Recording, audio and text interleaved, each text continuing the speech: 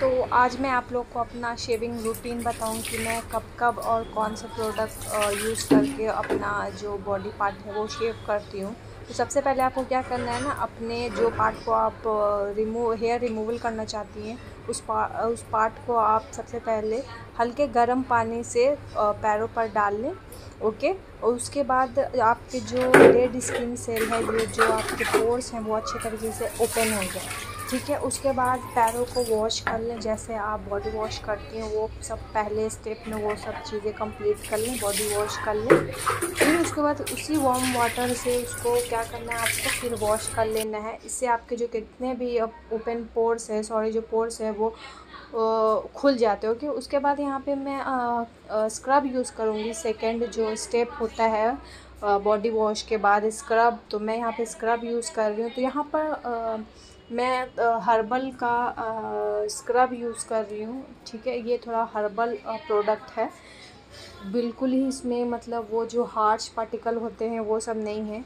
बिल्कुल ही smooth kind of scrub है। तो इसलिए मैं यहाँ पे अपने बॉडी को जो है पैरों को जो है अच्छे तरीके से आप मसाज देने देने के साथ साथ अपने बॉडी को स्क्रब कर लें ताकि जो आपने, जो अपना बॉडी वॉश किया था, उसके ऊपर जो लुक वॉम वाटर डाला था, उससे आपके जो पोर्स जो ओपन होते हैं, उसमें अच्छे से जो स्क्रब होता है, उसमें जाकर आपके जो जितने पैरों के डेड स्किन सेल है, उसको बाहर निकालने में मदद करता है स्क्रब ओके उसके बाद करने के बाद आप अपने पैरों को ठंडे पानी से जो है वो वॉश कर लें, ठीक है? यहाँ पे आपको गर्म पानी यूज़ नहीं करना है।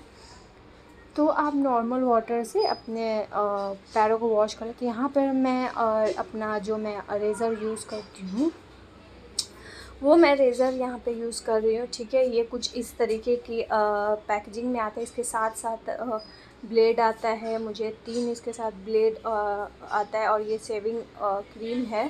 तो मैं इसकी हेल्प से जो अपने पैरों पर इसका क्रीम लगा लूँगी ताकि इससे क्या होता है ना, बहुत अच्छे से आपके जो बाल होते हैं वो बिल्कुल ही स्मूथ तरीके से निकलते हैं। बहुत सारा मीथ ऐसा होता है कि रेज़र करने से आपके जो बाल हैं वो फिर जब दोबारा उगेंगे तो वो मोटे उगेंगे या तो फिर बहुत काले उगेंगे। तो ऐसा नहीं है, ये बिल्कुल गलत बात है। शेविंग इज़ गुड आप उसको शेव कर सकती हैं। जब भी आप चाहें तो ऐसा नहीं है कि आप एक बार रेज़र लगा देंगे तो आपके बाल जो हैं वो बहुत ज़्यादा तेज़ी से उगेंगे, ऐसा कुछ भी नहीं है, ये फॉल्स बात है। उसके बाद शेविंग फॉर्म के बाद मैं इसको सेव कर लूँगी। तो आपको अपवर्ड डायरेक्शन में करना है, ठीक है?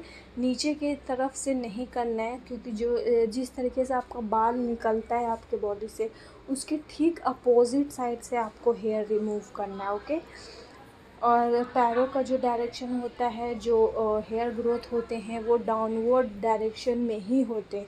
तो आपको जब जब भी हेयर जो डाउनवर्ड डायरेक्शन में होते हैं, आपको अपवर्ड डायरेक्शन में सेव करना होता है, ठीक है?